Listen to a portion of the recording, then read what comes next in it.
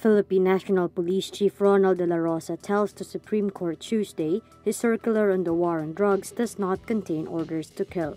The SC is hearing petitions which claim the PNP circular containing the words negate and neutralize have been taken by cops to mean kill drug suspects in their anti-drug operations. Associate Justice Marvic Leonen asks De La Rosa if he ever issued an order to kill during the war on drugs. De La Rosa says, quote, Neutralize, Your Honor, has a lot of meaning in police procedure. It means arrest, having the suspect surrender, or killing the suspect in very extreme situations, wherein as a result of a legitimate police operation, there is a gunfight. De La Rosa insists his circular is valid and that he will only change it if the SC tells him to do so. His testimony comes in the wake of a controversial report by Reuters showing footage that suggests Manila cops deliberately killed drug suspects last October 11, a day after President Rodrigo Duterte took the police out of his war on drugs.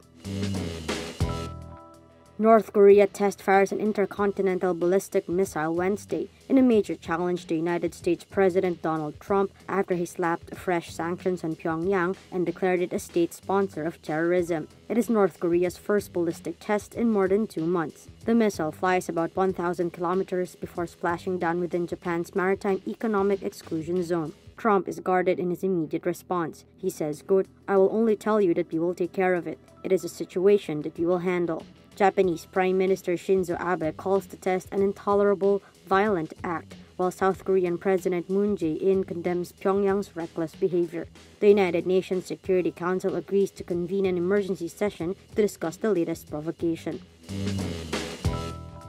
Meghan Markle will be baptized in the Church of England and will apply for British citizenship ahead of her marriage to Prince Harry in Windsor Castle next May. Prince Harry proposed to Markle while they were enjoying what they called a cozy night at home in his cottage in the grounds of Kensington Palace earlier this month. Prince Harry's spokesperson says Windsor Castle, Queen Elizabeth II's weekend residence near London, is a very special place for Harry.